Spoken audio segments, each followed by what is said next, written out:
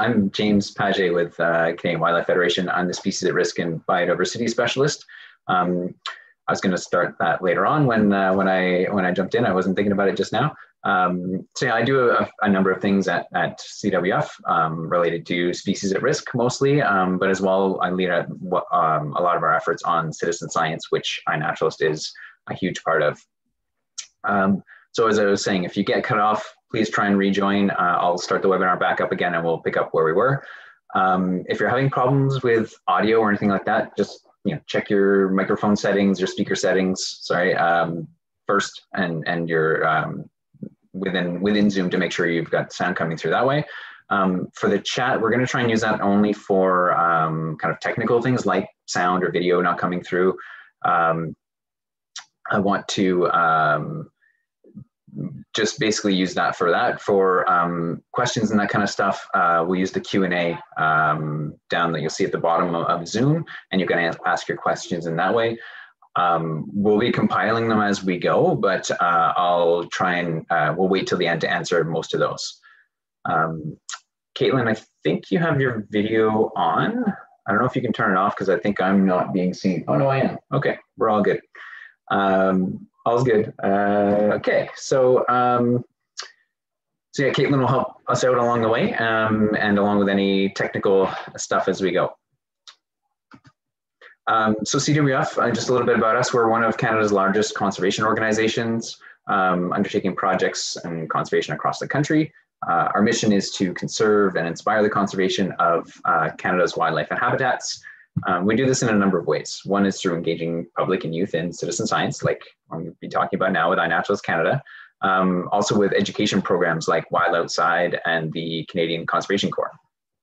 Uh, and then we have specific projects and conservation work in um, freshwater, marine, and terrestrial environments, uh, many of which target species at risk, like the right whale, Blanding's turtles, uh, at-risk bats, and monarch butterfly. Um, just going to pause to see if few chats coming through. Uh, yeah, everything is all good. Um, just wanted to check in on that as we're going. Um, so uh, what I'm going to talk about is with uh, iNaturalist and um, CWF uh, leads uh, iNaturalist in Canada, uh, iNaturalist Canada, uh, along with partners at um, Parks Canada, NatureServe Canada, and the Royal Ontario Museum. Um, our organizations form what we um, what's called the iNaturalist Canada Steering Committee. So we help kind of manage the, the platform here in Canada. Um, and in Canada, um, we have a Canadian version of iNaturalist. iNaturalist exists across the world, and within Canada, we can search and, and all these databases. It's it's kind of one backend database. Um, so if you're uh, wanting to, if you're curious about what's uh, been observed in South Africa, and even if there's not an iNaturalist instance there, you can search observations through the iNaturalist.ca platform um, anywhere in the world.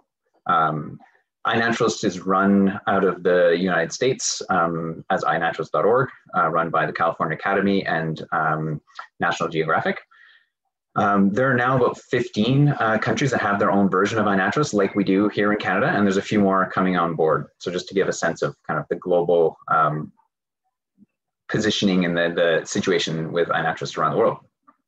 Um, and I will uh, talk about our platform here in Canada. Um, it basically is um, a database of observations of things that people like all of us, uh, anybody has uh, come across a wildlife observation, um, can record it using the app or digital or smart uh, digital camera um, and upload it through to iNaturalist.ca.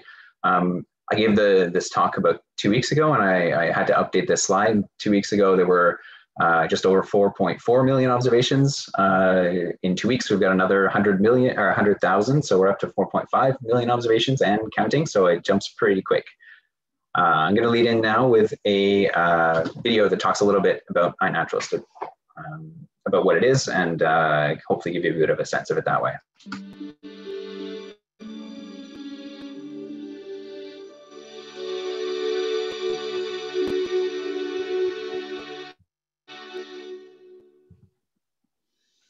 Make a difference for wildlife conservation by building a living record of where species you encounter are found and adding to a growing database of our biodiversity.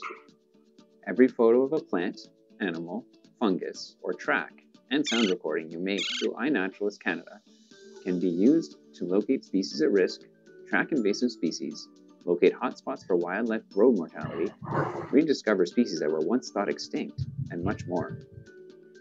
You don't need to be an expert to join iNaturalist. Everyone is welcome to join in. Starting from your first observation, an auto identification will instantly make species suggestions for you of what you just photographed. The best part is that after making an observation, there are species experts that will help identify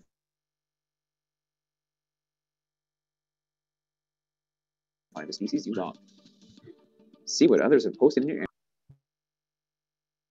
Get to know what's living around you. It's more than an app, it's an online community. It's not all about taking pictures or sound recordings. You can engage with experts and gain insightful information on species you're observing. You can follow friends to see what they're logging and even message each other through the platform.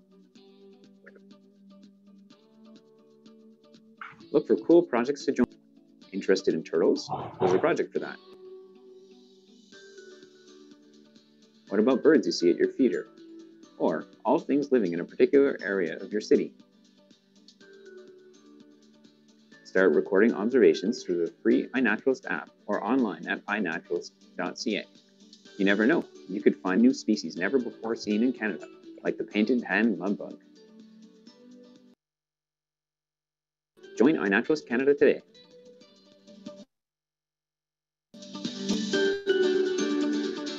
Yeah, so that's just a little snapshot of, of promo kind of advertisement of what iNaturalist kind of is. Uh, shows a little bit about the, how it kind of plays out in the field or out, outside.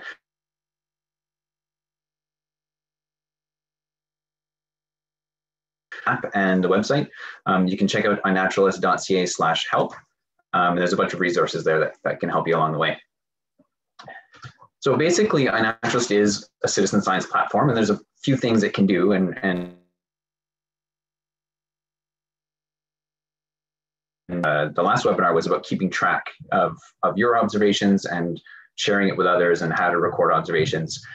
Essentially, is to become and to be a citizen science where this data can be um, useful for conservation and the idea is to make this data useful for conservation but also to just engage with with nature um, what i'm going to talk mostly about now though is we're looking at this other side of things which is the the after the data gets into this um, these identification side so it's kind of it's a two two-way crowdsourcing. So we're, we're kind of crowdsourcing observational data that can be used for conservation, but we're also crowdsourcing, basically meaning getting as many people um, or encouraging as many people as we can to help identify things.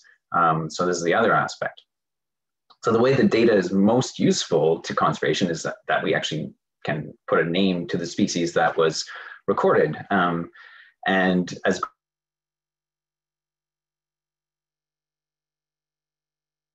opinion and a, and a kind of more reliable way of, of um, being sure that that observation or that species is what we what someone thinks it is and it can be confirmed by others. Um, it adds credibility to an observation, um, especially when it comes time to incorporate into conservation decisions. Um, so when we're thinking about identifying, if, if especially for those of us that maybe aren't experts, um, a good place to start is just looking at observations in your area. So you can do this um, through iNaturalist.ca if you go to the Explore tab, and we'll kind of look at what the website looks like in a little bit. Um, this is essentially the database that, that uh, the video and that I was talking about before. Um, you can uh, browse this database um, and to, to zoom into your local area to kind of get a sense of what the most common things are maybe that are being seen in your area.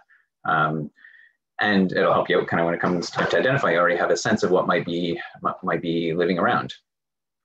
So when you click on the filters tab, brings up this little um, option for, for filters. Um, and if you'll notice that uh, verifiable is checked, that means that the, the observation has a photo um, or some sort of evidence, so photo or sound of, of what was recorded, um, but also has a location and a date associated to it. Um, there's a bunch of different categories here. You can search by um, species group. Um, Hi, James. Can I cut in for one second? Yeah, for sure. Hey, Caitlin. Yes, uh, sorry, our internet is not working today. Um, your video is frozen and you were cutting in and out. I was wondering if you could just turn your video on, off, sorry, and turn it back on. and we'll Yeah, see if that works.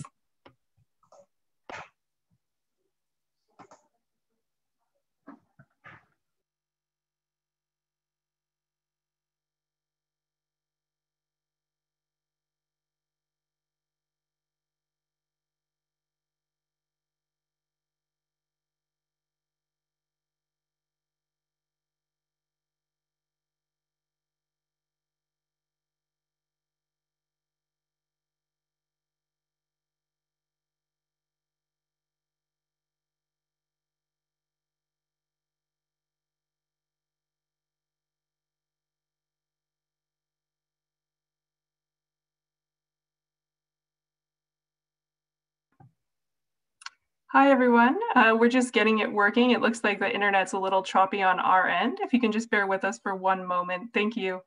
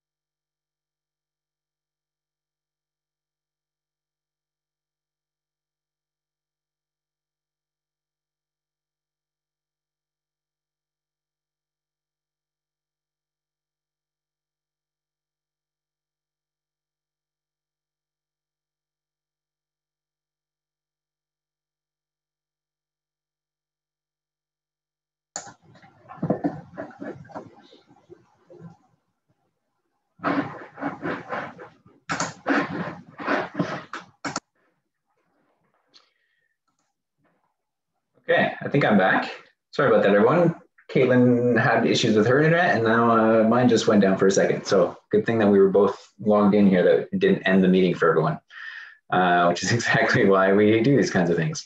Um, okay, I'm gonna go back and share my screen now and start my video again. Hopefully that doesn't uh, slow things down. Here we go. Um, Yes, it looks like it's working much better now. You're not frozen. Uh, can someone send us a message letting us know if we you can hear us and everything's working? Yeah, yeah, it looks like it's all good. Getting lots of good messages. getting lots of messages. Great. Thanks, everyone. Okay, so I'm going to share my screen again and get this.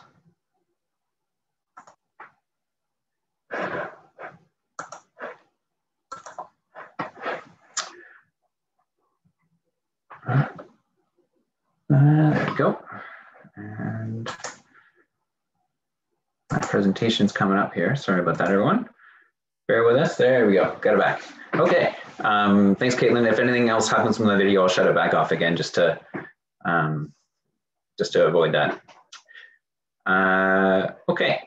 So um, yes, filters. Uh, we can filter by a whole bunch of uh, different options here, and you can even search by date range. So if you're curious of what's being seen uh, in the spring, say this time of year, uh, you can check back on the dates from the same time last year.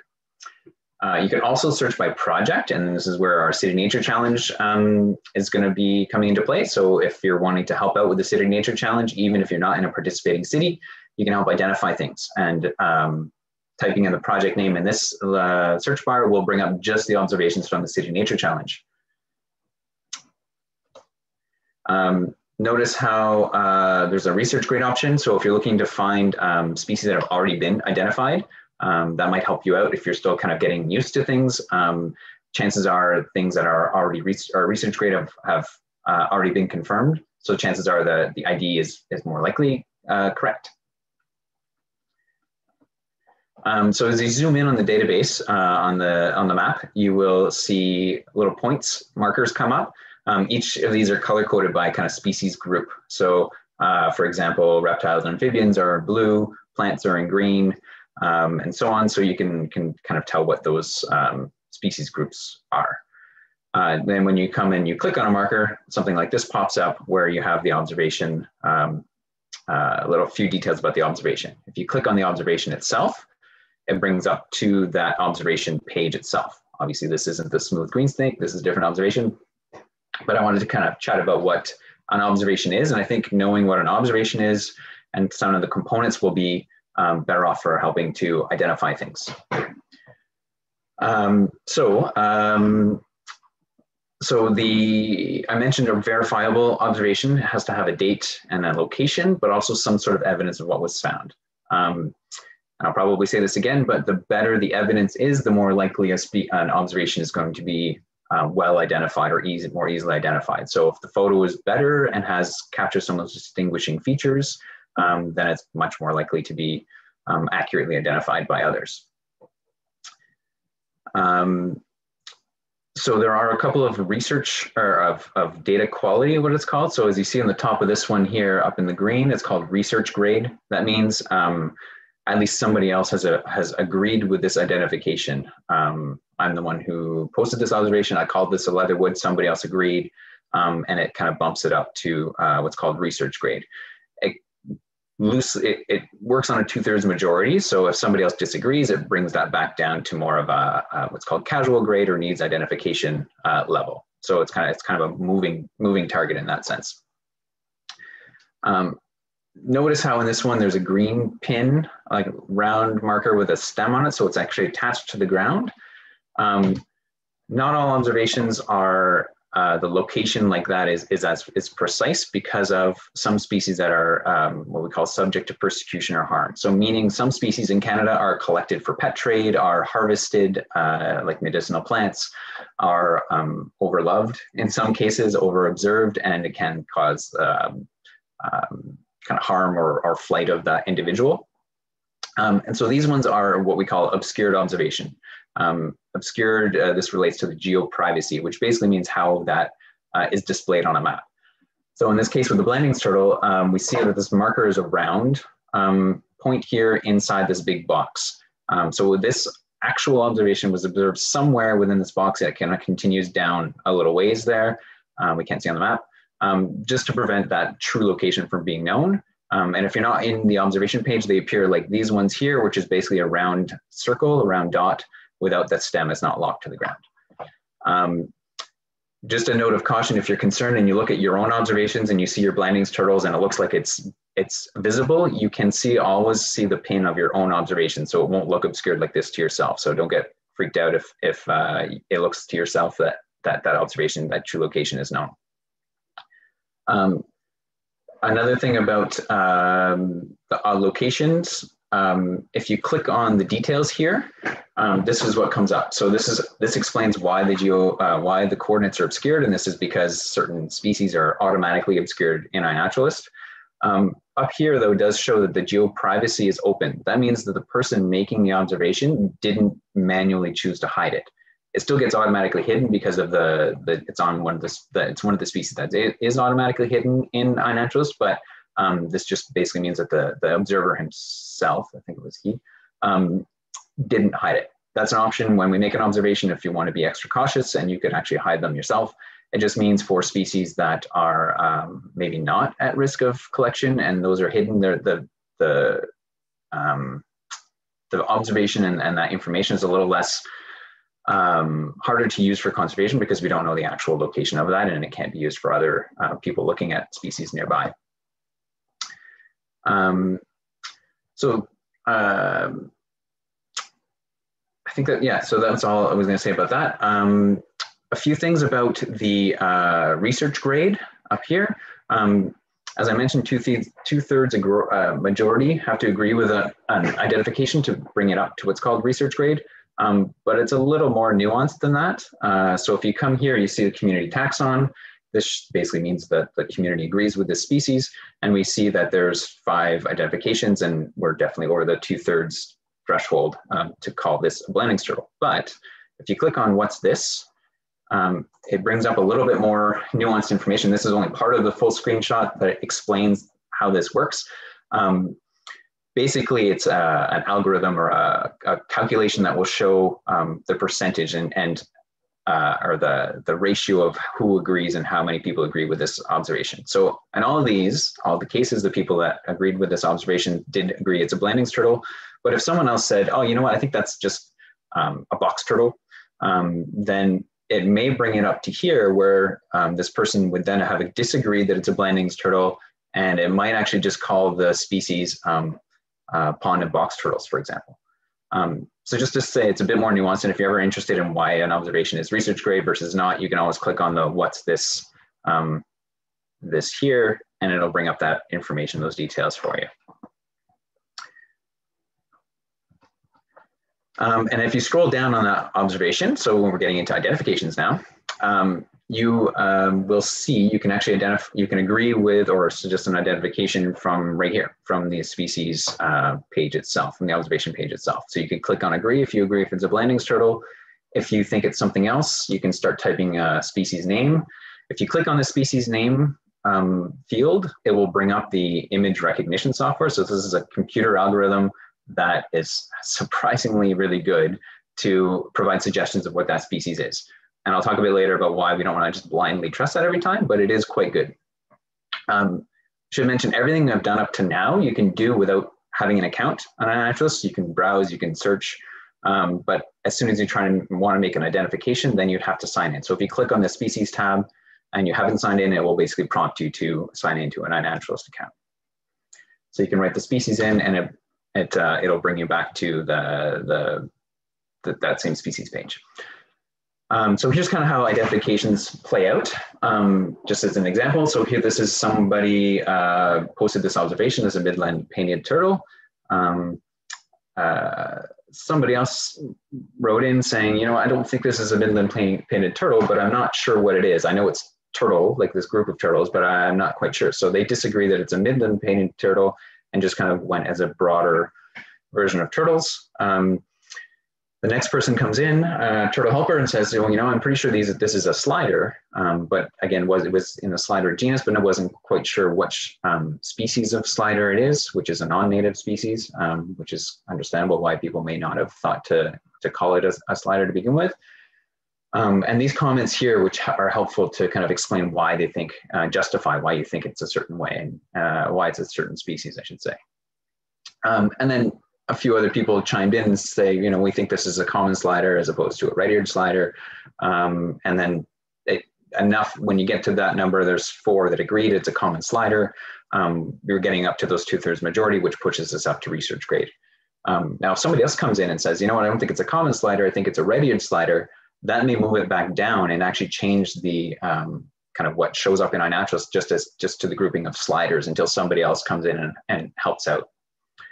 So that's kind of like a real life example of how these how these kind of identifications play out.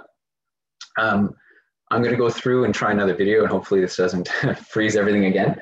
Um, on uh, something that iNaturalist.org put together on how the identify page works uh, on iNaturalist and um, some fun little saloon music that they put in the background. So let me go to my presentation and we go back into here.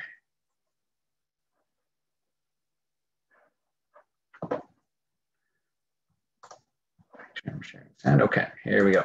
And I'm going to jump ahead a little bit at one point to skip over some quick a section that doesn't really uh, talks about keyboard shortcuts.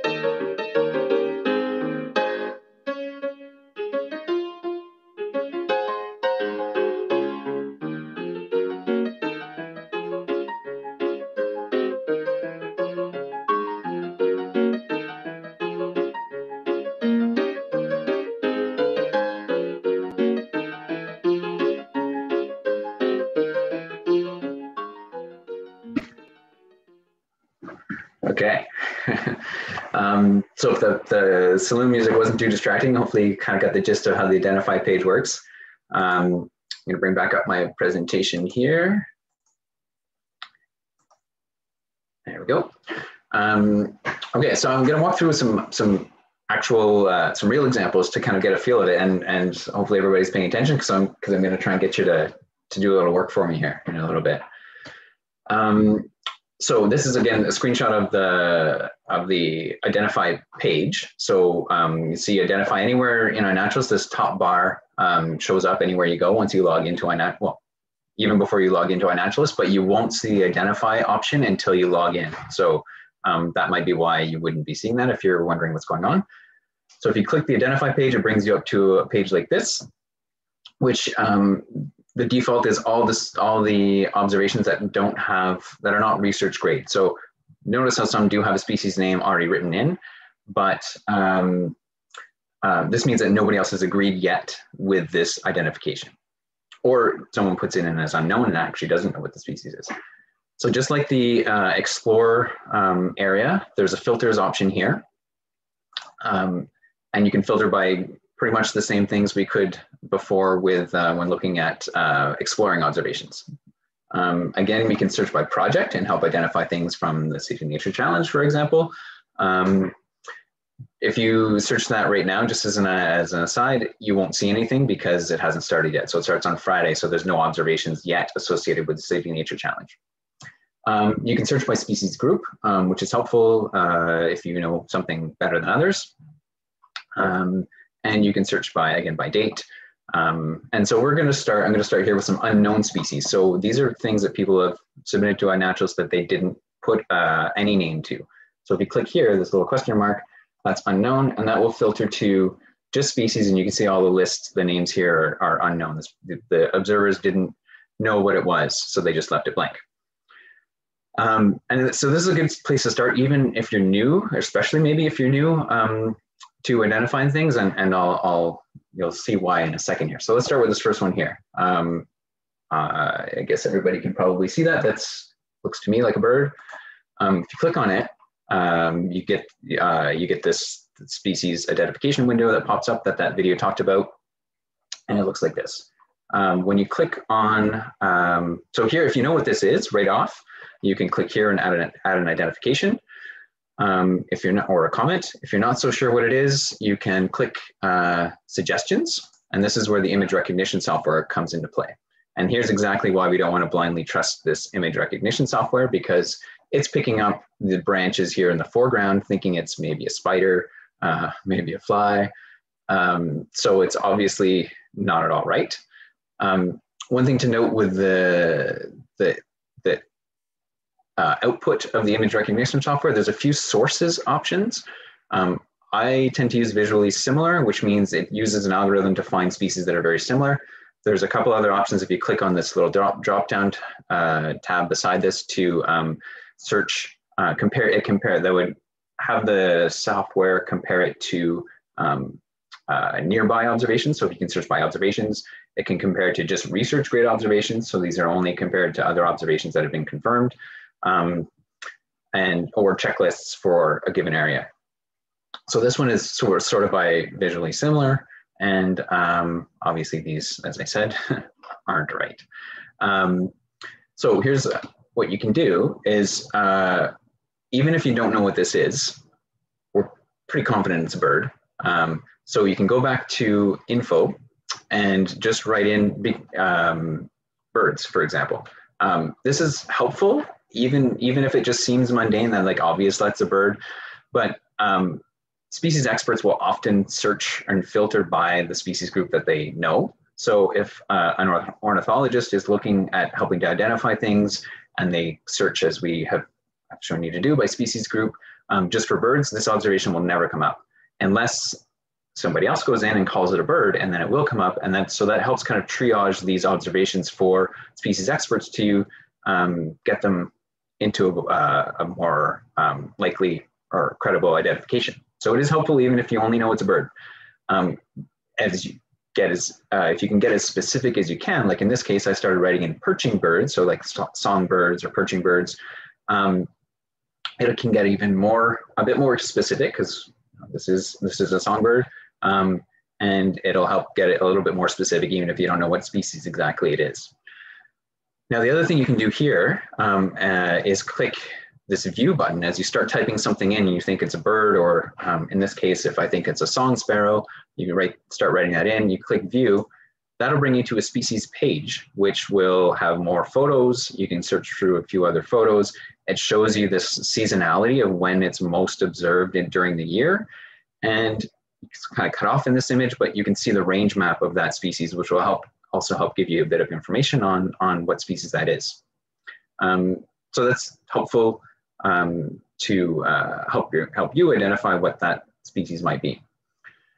Um, so then you can go back to your observation. Um, once you click your, your um, species that you uh, think it is, even if you just call it perching birds, you click save and it brings you, it'll close that window and bring you back to the main um, identification page. Um, I'm gonna try again with another example, and here's where I'm going to get some help from the rest of you if this all goes well. Um, to uh, go to iNaturalist in a real life, real time example, and hopefully internet all holds up here. So um, this is live on iNaturalist. Uh, you'll notice that you don't see the identify option up here. It's because I'm not signed in. So I'm going to log in, hopefully. Thinking, cat.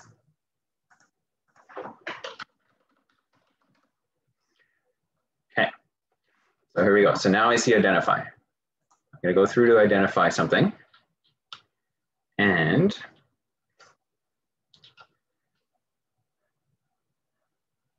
I'm going to search for, still thinking, showing no observations, but still thinking about it.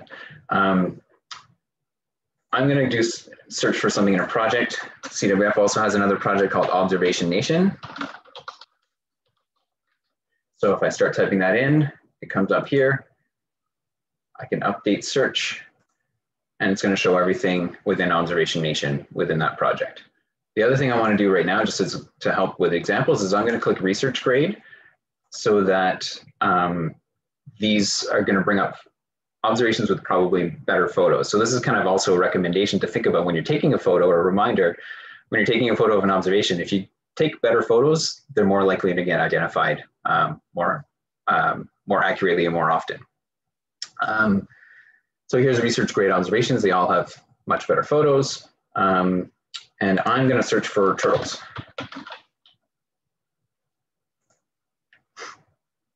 I'm going to find a good observation for everyone to help me out with here. So let's look at this one here. Everyone can see that. Um, and I think this is Mary's observation, who might actually is quite likely listening in on this observation. So we're going to help her out at the same time. So notice how this has already been agreed with. There's one comment here, one identification here. These are research grade observations, right? So somebody else has confirmed this. Um, it's helpful still to do that because two people could be wrong. I know Mary's not, but um, two people could be wrong on the same observation, and then it's considered research grade, and uh, it's kind of erroneously qualified as that. So here's the first step if we want to identify something and it's a good photo like this, like Mary's got, um, and um, we can uh, click agree if we think this is, uh, if we agree with what this is. So I'm going to get everybody's opinion and see if this comes up. You should see a poll here. And I'm asking everyone, do you agree with this identification? Yes or no? And I spelled identification wrong. Great. So we're going to see how many people um, agree with this uh, straight off the bat. And I see people are filling this in. This is great. So we're getting some ID help from what 50, 60 people here on one observation. This is great. So I'll give you a couple, uh, another 10 seconds or so for people to add in what they think.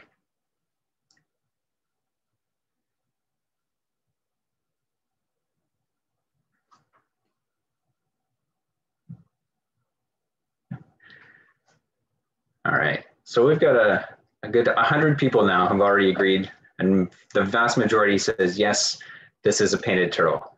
Some have said no, and I kind of wonder if maybe because you're noticing some of these are calling them Eastern painted turtles, um, which you couldn't know otherwise if you didn't know where this location is. And I, I know this happens to be on the east coast of Canada. So the only species of painted turtle around there would be eastern painted.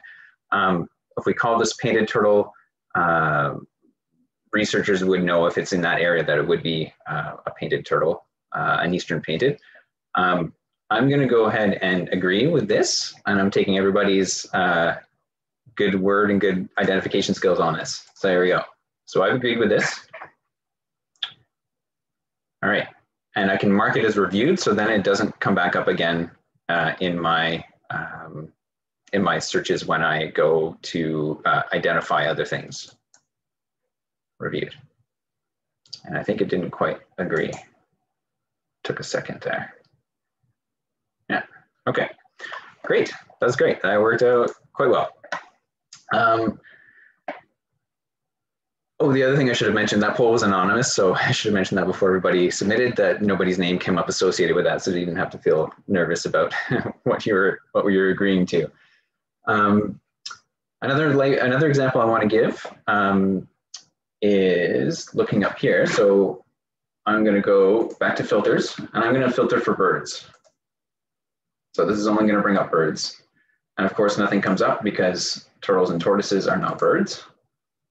I'm going to look for finches.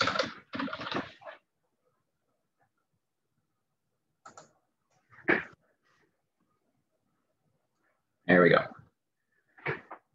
So I'm going to scroll through. We're going to look for a good finch um, observation. Let's look at this one here. So now instead of agreeing with this right from the get-go, although that is a really good photo that we can probably identify from, I'm going to click on this, which brings up our species card, and we can zoom in on this. I mean, if it happens to be a, a far away observation, we can zoom right in um, uh, to get a better view. If, especially for plants, sometimes it's it's better. We need to kind of get a closer look. Now, a couple of people have already agreed uh, that this is a purple finch. Um, I am going to um, look at a couple of the things within the species card. Remember the, the video talked about annotations. So we can look at this. Annotations can help um, just kind of provide extra information to an observation. So alive or dead, we can collect. I assume this is alive unless it's a really good taxidermy job. Um, life stage, this is an adult, and uh, a male. So we've added a bit of extra information to all this. Uh, the data quality, this is where, um, where things come to become, um, can be pushed down to like a casual observation. If we look at this and be like, this location is obviously wrong, and we vote it down, or if the um, evidence isn't there, we can vote it down, and then it kind of pushes that observation back away from being research grade into what's called more casual observation. Um, I'm going to go through and look at the suggestions again. Um, Notice how this here, um, again, is sorted by observation. So this is only showing nearby observations. Um, I wanted, I'm gonna search for uh, visually similar. I should mention, um, I do see some hands going up. Um, I think we'll try and wait to the end if people can keep their questions there. Although if you wanna write something specific in the chat, related to like something that needs better explanation right now, um, maybe write it in the Q and A. And Caitlin, if you um, if you can, you can kind of interject and and kind of mention that to me right off the bat, so I can I can address that now, or as we go, even right now. Um, okay, so uh, so these are the suggestions based on um, visually similar observations. So if you see on the right here too, this pulls up the range map of um, the species that it's talking about, the purple finch. If you look down here, Cassin's finch, not quite in the same vicinity. And another species that is often misidentified with this one is the house finch, and you see the range, it's, it's pretty close. It could be definitely around there. So um, with that information, I also want to say one other thing, um, something that can often be misidentified as uh, purple finch. If we look at this, could be the common redpoll. Depending on oops, uh, birder expertise. So if I start writing this in, again, you see how we can go to view. I can click on this and it'll bring up the species page for uh, common redpoll. Not quite the same, but you can see how someone can make, make an honest mistake. Um, but you could click on other observations um, or other um, images, see when it's been seen, um, and get extra information that way. So I'm going to get everybody to help me out again. Um, I'm going to launch another poll, and I'm going to see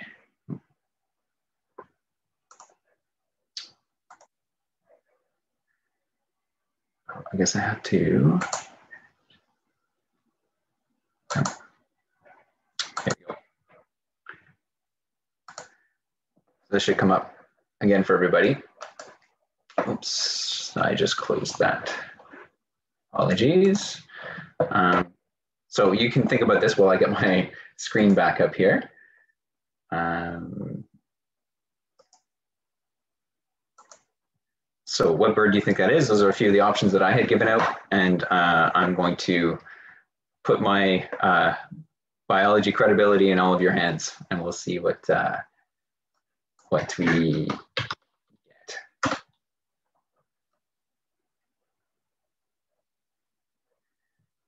we'll go back to identify. I'll give you guys, this is good timing because you guys have a few minutes to think about it.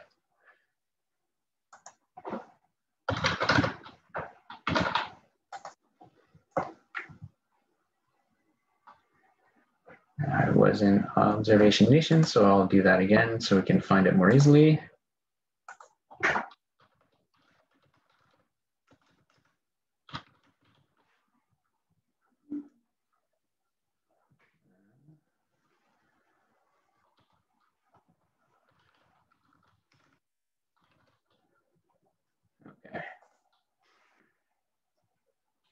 Okay. So we've got a good vast majority of everybody also agrees with the original ID and think it's purple finch. If you think it's house, house finch, which is quite possible, that is another one that is could very well be around there. Um, and I'm not seeing that observation now. Oh, it's because I didn't select research grade. Look at that. So it was not showing any research grade observations by default. There we go. There we go. So I'm gonna agree with everybody here and we can either add an ID and write it in or um, we can go back up to where it was right here and we just click agree and we've all agreed that we've got a, a purple finch. Um, we can use these arrows to kind of just quickly flip through different um, observations uh, to help identify things as we go. Uh, or you can click on the X and just click on uh, an observation the way we did just that last time. Uh, okay, I'm gonna bring back my presentation. Let's get it going here. And I'm gonna quickly go through, so all this can also be done uh, in, the, in the app um, through the iNaturalist app. Um, I don't tend to use it as much in the app, but uh, I do hear that some people, well, I should close that poll, I guess. I hope that didn't, there we go. And I think everybody can close that. If it still happens to be on your screen, you can click the X and get rid of that poll. Um, so yeah, some people do prefer to use their app if they got their phone handy and want to do uh, quick few quick uh, identifications. So um, again, you can open up the iNaturalist app. Um, when you open up the app, if you're not already signed in, you can sign in and it brings you to this kind of a page where um, this is your, your observations page. If you go and click on these three bars in the menu, you'll see this kind of an option. If you click explore, it'll bring up the observations that are near, near you and it uses your location. Uh, right here is showing by my location things that are kind of somewhat near me. If you want to click on the filters button here on the top right, um, you have kind of the same filters that we just got, had gone through with the identification. So you have, um, you can uh, hide your observations if you don't want to see yours in amongst all the ones that you're looking to help identify. You can search by project. You can click research grade only or just needs ID. Um, apply the filters and it brings up the observations that meet your parameters. Uh, if you want to help identify, click on, you tap, not click at this point, um, tap on a, an observation and it brings up that observation kind of page of what it is. And if you right off here, you won't see an option to identify. So what you have to do to identify is you tap these three, like the comment box here. So you tap there and from there you can just, you can tap agree um, if you have enough to go on with that um, image, or you can tap on suggest an identification, suggest an ID. Um, and that brings up uh, this other page. And when you tap on it, it's this is using the image recognition software, the same one that's used on iNaturalist.ca.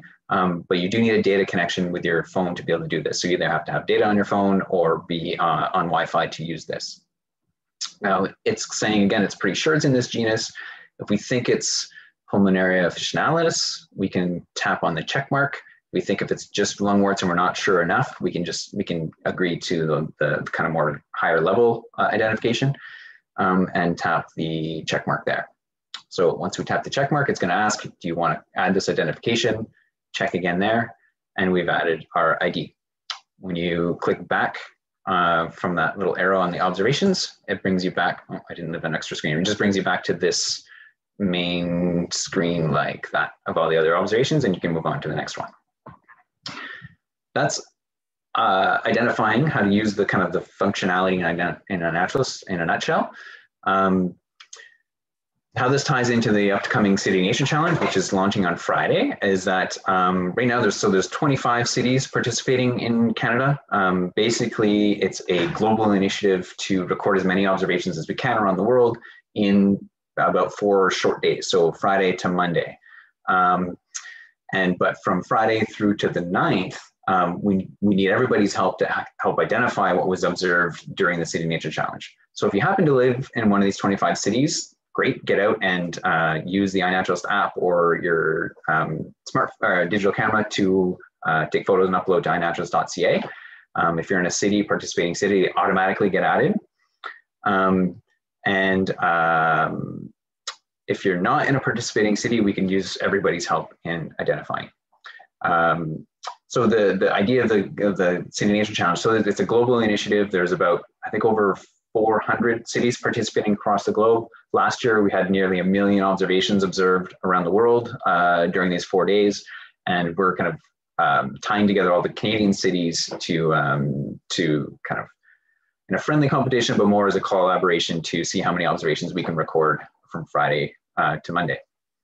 Um, if you're not sure about how to record an observation using iNaturalist, you can check out some of our help videos on at inaturalist.ca slash help. Um, or you can visit our webinar that I gave two weeks ago. It's recorded and you can find that if you go to canadianwildlifefederation.ca and you search in the uh, resources tab at the top, you'll see webinars and you can, you'll be able to find our webinar that way. Um, and it gives an hour long presentation on how to use the app and the website to upload observations. Um, and I know with the, the global pandemic, obviously, we don't want to be um, encouraging anybody doing anything that's not safe and that we're not within regulations. But uh, so iNaturalist can be something that can be done um, locally as, as needed, uh, depending on what area of the country you're in. Um, you can do within your backyards, local green spaces, local streets, um, biking and walking paths. If you're able to go further afield up into um, hiking trails and that kind of stuff, um, and even within your own home. Uh, surprisingly, how many critters we can find uh, in our basements and uh, the number of spiders I let outside uh, at our house too. So um, nature can be found everywhere. Uh, it can also be done, it's something that can be done in family bubbles as well, right? You don't have to do it, you can be done alone, but also uh, family bubbles or in, in those areas where small gatherings are allowed. Um, and as I said, from April 30th to May 9th, um, everybody across the country can help identify what was found. Um, so remember how we searched in the identify page, uh, you can search for City Nature Challenge um, and find the Canada one, or if you're in one of the cities and you wanna just help identify um, observations in that one city, you can search for the city project itself. Um, another way to get to that as well is through the iNaturalist project. So if you go, remember the top bar here, um, we talked about for where they identify is if you click on community, there's an option for projects. When you go through to projects, the iNat uh, the City Nature Challenge, the Canada wide one will show up as one of the top ones. So you can you can click fr from there to the project. Um, and if you click on read more, there'll be a link just to those observations in that identify section of just the observations for the City Nature Challenge to help identify. Um, so that's how all of us can help, uh, regardless of where we are in Canada or even beyond. Um, and the more observations that we have identified in the in the City Nature Challenge projects, the more species will show up in our total tally. So um, uh, the observations all count, but we, we, the more that are identified, we'll get uh, we'll get our species count up a bit higher too. Um, so with that, uh, we get a little bit of time for some questions at the end. Um, and if you're looking for extra information, um, inaturalist.ca slash help, or for the City Nature Challenge, you can check out citynaturechallenge.ca. And if Caitlin, you're still on with your internet's good, oh, awesome. Um, yes. There were a lot of questions, I think, in hands coming up throughout. So hopefully uh, um, you could address some of those and able to compile a few for me. Yeah, so we've got a question about captive and cultivated. Oh yeah. Uh, for example, we planted a uh, acre of wildflower meadow and I'm using iNaturalist to ID what's coming up. Are these classed as cultivated? Oh, that's very specific. Um, I feel like this might have been the same one from last uh, last webinar. I was talking about captive and cultivated versus like naturalized versus um, kind of just garden plants. Um, generally, and I had a note to talk about this in, in part of the presentation about captive and cultivated. Um, basically, if it was intentionally put there, um, we're calling those things captive and cultivated. Now, seeding a wildflower me meadow, yeah, that's a restoration action more so. I that I would lean more towards leaving that as wild, um, especially since especially if it's a wildflower meadow and it's native seed and it's kind of what would the type of habitat that should naturally already be there that kind of thing, I, I would be say it's a bit of a gray area, but um, I would say that could be considered more wild. The captive and cultivated things, generally, we're thinking more like garden plants, um, trees that were planted in a yard, or things at the zoo, like those types of things. Um, now, if it's garden escapee, like you happen to have a patch of, um, I don't know, bishop's weed or um, wild garlic or something that's gotten out from someone else's garden or whatever, then that, if it's once it's back in, established in the wild, I would consider that uh, wild and not captive or cultivated. Great, thank you. Uh, we also have a few questions about um, re, I, re-observing the same individuals. So for example, if you have a robin that lives in your yard, should you keep uh, uploading observations? Yeah, and I, I it is a, I, I have the same thing. I have robins in my yard and I don't take one every day. Um, but uh, I would suggest kind of the first thing, some something notable like the first robin of the year, um, the first flowering instance, um, maybe a nesting event of a robin, um, and and kind of periodically throughout the year if you like. Um, uh, I would suggest that as opposed to every single day, but it's you you can. Um, it's good to capture these common things which sometimes people overlook because they're like they see it all the time, um, and then it looks like there's no there are no robins recorded on iNaturalist, for example. So which isn't the case, but. Great, thank you. Um, and a, another question on that note was about if you see multiple individuals of the same species, should you do separate observations for each of them? Yeah, um, I would tend to do, if it's the same species, I would tend to do one observation, try and get a good photo that, I mean, if it's a group, be have one that you can pick out the identifying features of, and then you can add in your comments section, like the number of individuals you saw.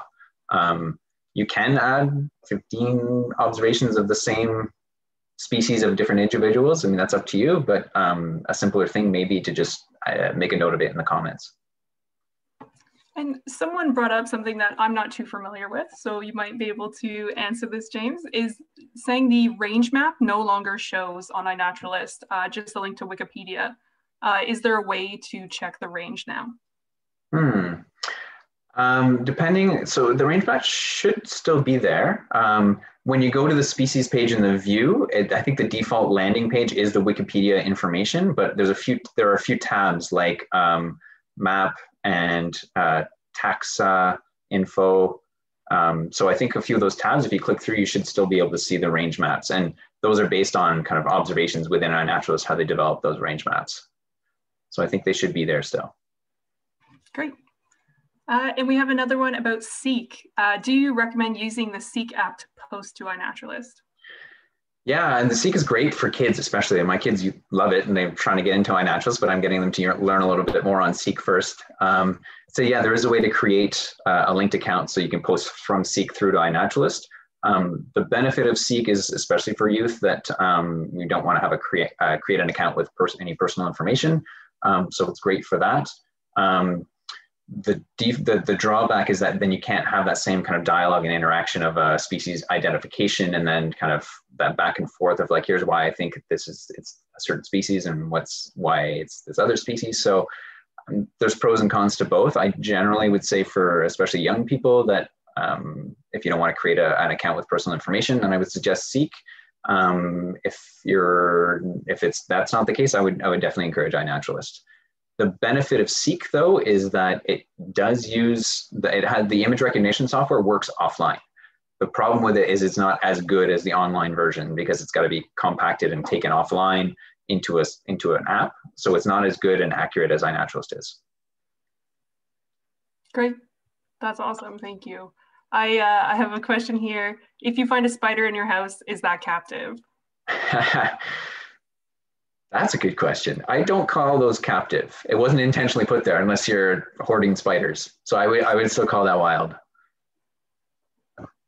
And how useful is taking multiple photos and adding them to one observation? Mm, yeah, definitely useful. Um, and I, I, tend to when I can, unless I know like I've captured really good features with features with one photo. Um, the more uh, photos within an observation that help identify it, the better. And this kind of ties into identifying, right? If you're thinking, if you, I guess if you think like an identifier when you're taking an observation, um, think of like, am I going to be able to look at this after the fact and tell what that species is from this photo? And oftentimes for certain things, you need multiple photos and multiple angles. Um, something of like the underside of a leaf versus the stem. Um, you need a few of those pieces of information to help identify things. Great. And for this weekend, do we need to add our photos to the CNC projects or will they be automatically? Uh, yeah, no, they're automatically added. If you're in a participating city, so if you go to the, the City Nature Challenge project, and I had that list there on the, on the presentation, but if you go to uh, within iNaturalist search projects, you can get to the City Nature Challenge one. Um, it'll list the participating cities. So if you're in one of those boundaries of a participating city, it'll get automatically added so you don't have to join the project. The benefit of joining though is that if the, the project organizers have interesting finds to share with people or some, some kind of event or, or noteworthy thing to mention, then, then you'd get a notice about that. But you don't have to join for your observation to get automatically added. And the Canada-wide project automatically am amalgamates everything from each individual one. So again, you don't have to join. Great. Uh, we have a question about sound. Uh, is there a way to add sound recordings to iNaturalist? Yeah, and I don't think I talked about that, eh? Because yeah, I guess I was talking more about identifying as opposed to observing. But yes, especially in the last two weeks ago webinar, I definitely talked about sound recordings, and yeah, definitely sound recording is is an option within iNaturalist. Um, it's also available. So if you already have a recording on a device and bring it onto your computer, you can drag it in to uh, upload the observation the same way you would a photo. If you're using the app, when you choose to take an observation, it will ask if you want to record sound as well. So you can record sound directly in the app or add a sound that you have recorded on your uh, smartphone. Um, that's only recently come to iOS, so just to um, uh, Apple phones.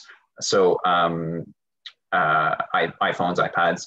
Then, so if if you don't have the latest version, maybe update to make sure that it's there. But um, but it is there now, and it wasn't before. So great. And can you expand on the .org and .ca sites? Do they overlap? Yeah, so I kind of talked about that that first map that I had early on about all the different points of iNaturalist across the globe. So iNaturalist.org is kind of the is was the founder. They're the creators of iNaturalist. So that's the kind of the default anywhere in the world. And then um, we approached them in Canada to see if about making a Canadian version of it. Um, and same thing, they've done the same with whole bunch of places Mexico, New Zealand, um, Portugal. There's, so there's a whole bunch of instances the same way Canada has. So our, our database basically links straight through to the iNaturalist.org. So it's essentially one database. It's just a different um, entry point in a, in, a, in a way. We encourage people here in Canada to use iNaturalist.ca for one, because it's bilingual.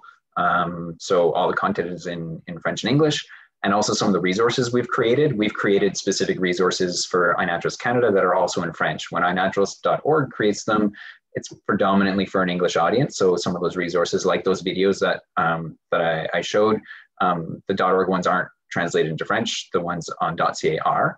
Um, also, we can more easily share the information for conservation decisions for conservation here in Canada if if people are affiliated with iNaturalist.ca.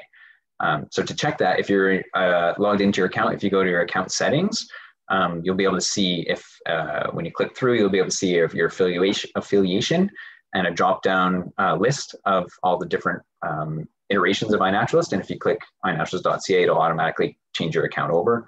Nothing else changes. You can still go in through iNaturalist.ca or .org, but if your account is affiliated with us, um, it helps for us to share that data more easily. Yes, thank you. Uh, we have a question. When we've submitted a photo, is there a way to determine whether they have assisted in either a discovery or verification of a species and its range? So I didn't quite catch that. So is there a way to determine whether their observation has assisted in either a discovery or verification of a species in a new location or new uh, range? Um, well, remember when I showed some of the the, the maps there, when you can click on a species and see the map, you would be able to see if your observation is outside of the, the range of that species on the map.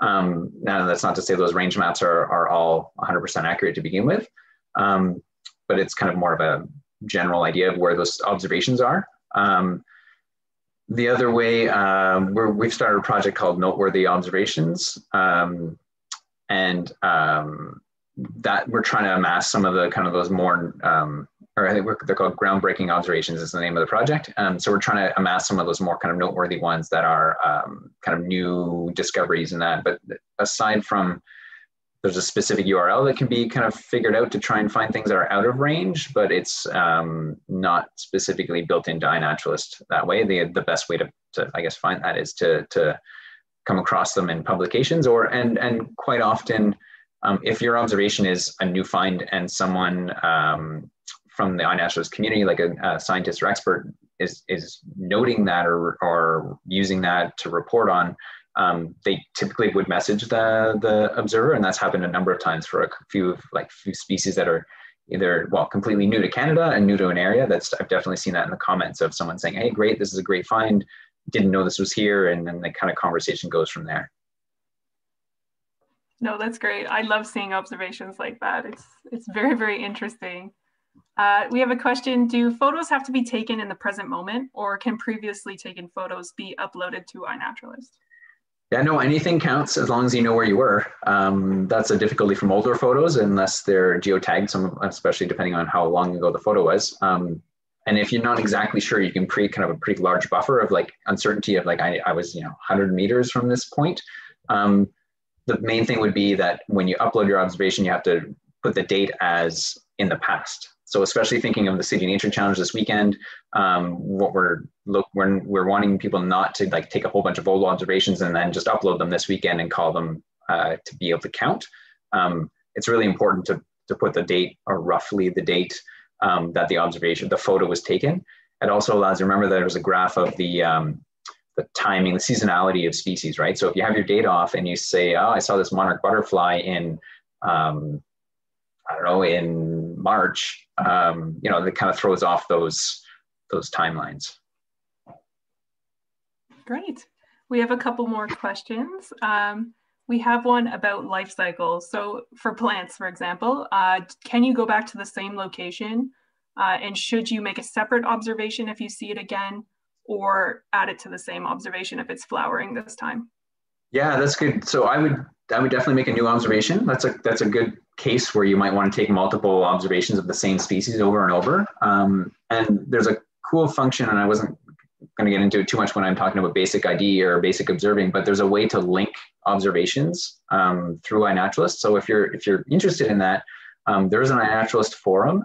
Um, so I think you can get to it from your dashboard in iNaturalist when you log in. There's an option to click on the forum, um, or you can just Google iNaturalist forum. Um, and then you can search for that topic because there's a there's a few threads that are basically it's the community that talks about cool things to do with iNaturalist. Um, and you could you could search for that specific topic, and they'll you can find out exactly how to link observations, and and um, there's a few cool ways we can do that. Great. Uh, and someone was asking if they joined multiple projects and they take a photo, will all of them uh, be automatically uploaded to that project or do they have to add them individually? Yeah, it depends on the project. Most projects are set up to automatically add things, um, kind of like I was saying how the City Nature Challenge does. You don't have to join the project. It's set up to just has a boundary and says anything within this time frame in this boundary gets automatically added. And the vast majority of projects are like that. And if those projects are like that, um, you don't it it it does it your observation will go into all those project projects at the same time and it doesn't really duplicate basically the project kind of points to those observations and amasses them that way and lists them um, there are some other projects that are called traditional projects and those are some that um, often are a bit more specific to research where they're looking for a specific question and they can have certain observation fields like we have one for our turtles um, where we want to um, find out if the turtle was on the road, how far from the road, is there a culvert nearby? So we have those data fields we're asking people to fill out. Um, and those don't automatically add observations the same way. You have to physically click join the project and then add it to the project at the time of making the observation. Great. Uh, so it's 110 now.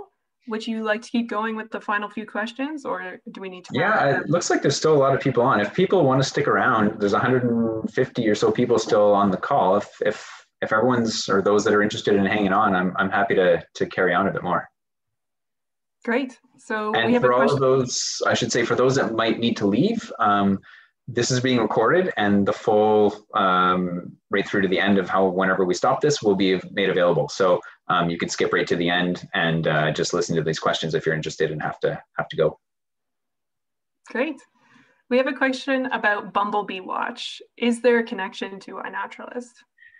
Yeah, that's a good question. There's a lot of citizen science platforms uh, out there, um, each kind of doing their their valuable thing or their niche role as well. Um, I know the, some of the folks at Bumblebee Watch and have had conversations with them, and we've talked about how we, you know how we can integrate a little bit.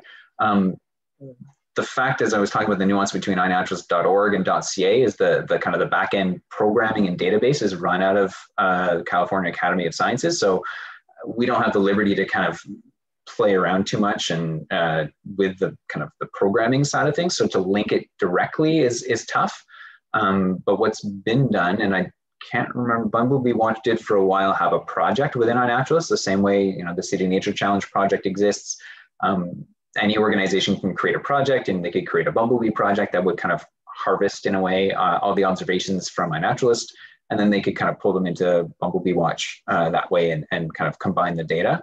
So um, there definitely are ways to work together, and, and I'm open and, and actively trying to trying to pursue that with uh, some other citizen science platforms, um, and it's super valuable to do. So the the thing with iNaturalist is it's very it's very general, right? It's it's observations of anything, um, but it's not specific to something like Bumblebee Watch, where they have um, scientific like experts ident- reviewing and identifying like no uh, observations and something like eBird, which is very specific to birding and has features that iNaturalist wouldn't have just because iNaturalist is more general.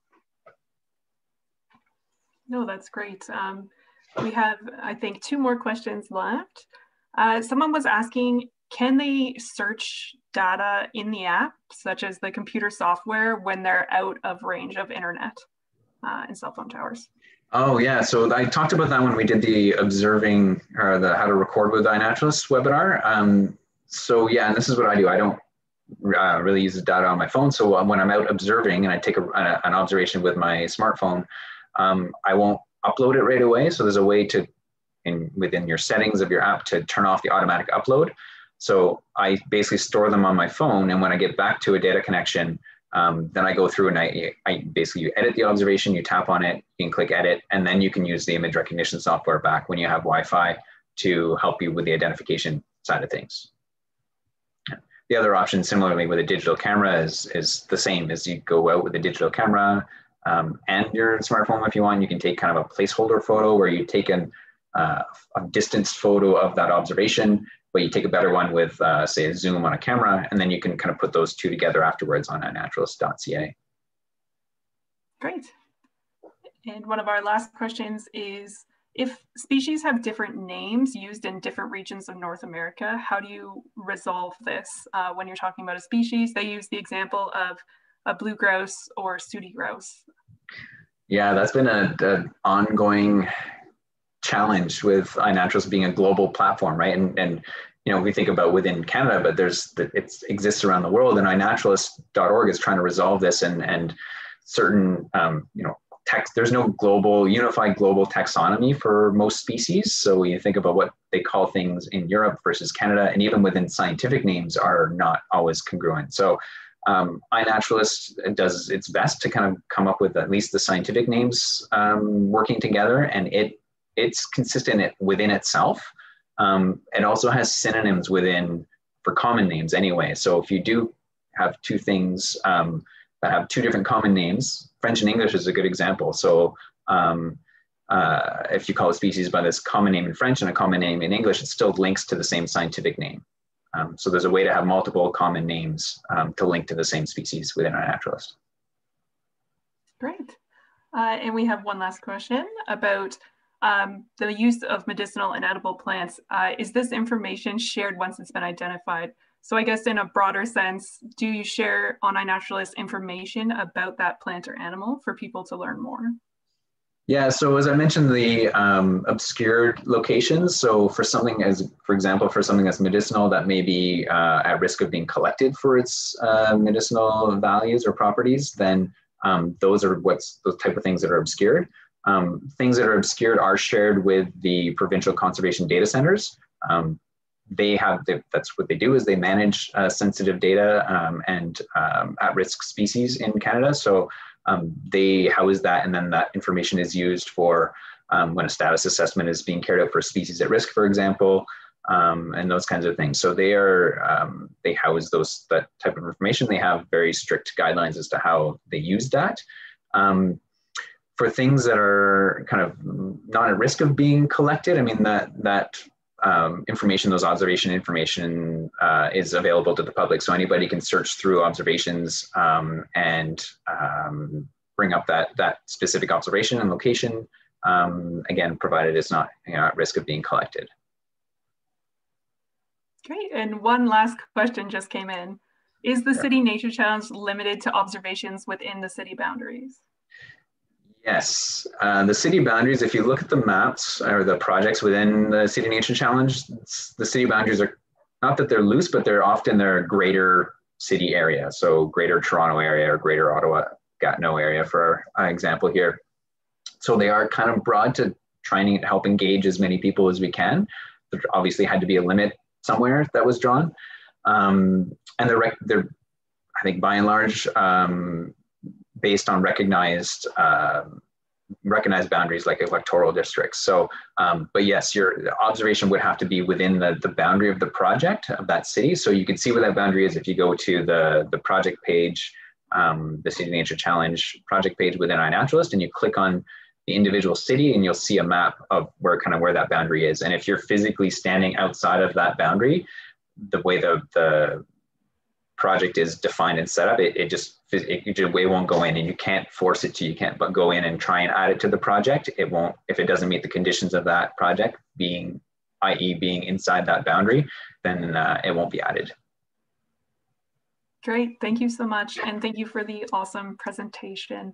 Uh, and thank you to everyone who joined. Uh, and sorry for that little blip in uh, internet connectivity there. Yeah, thank you everyone. And I'm happy to take more questions uh, at different times as well. And, and, there's a there's a contact I think um, email with the webinar invite that went out, um, and you can always find me on iNaturalist as well. Great. I think we'll end it there. Yeah. Thanks everyone for participating.